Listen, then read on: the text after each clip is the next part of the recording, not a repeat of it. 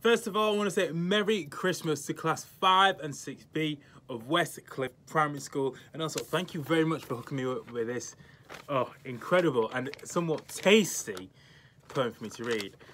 When I read it and I printed it off, it just made me want to be like, mm, I just wanted to eat the paper, but I can't because it's, it's paper and it's ink. But it did make me feel really hungry, and I'm really, really now I'm looking forward to my Christmas dinner because of what I've read in here. So it's an honour being asked to read this for you guys today. So shall I just jump straight into it? I think I need um I think I need a little bit of a, a, a Christmas vibe to it, don't you? So I'll just I'll stick this light on. This can be like imagine it's a uh, Rudolph's red nose or something. Can we get like a little ding when it comes on? So awesome, right. I'll jump into it. The gentle smell of pine needles as we decorate our Christmas tree. The dusty smell of last year's decorations coming out of the loft. The sickly sweet smell of sherry waving from grandma's Christmas cake. The beautiful smell of fresh holly in our Christmas wreath.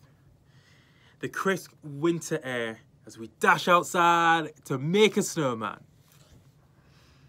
The delicious smell of freshly baked gingerbread with a warming, cozy cup of hot chocolate. The enticing smell of peppermint candy canes. Who could resist? I'm just gonna grab them all. You guys can have one. Here you go. And the mouth-watering smell of the delectable tofurkey. Well, some people eat turkey. and last but not least, the scrumptious, spicy scent of Christmas pudding covered in custard. Guys, I'm, so, I'm starving. I'm starving. I could eat one of you guys, but I'm not gonna. I'm gonna wait till the 25th and I'm gonna save my Christmas dinner. I just want to thank you very much once again to class 5 and 6B of West Cliff Primary School.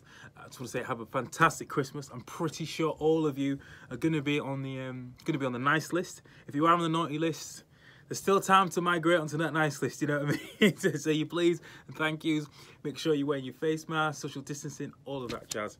Have a wonderful and Merry Christmas. Stay safe. Peace.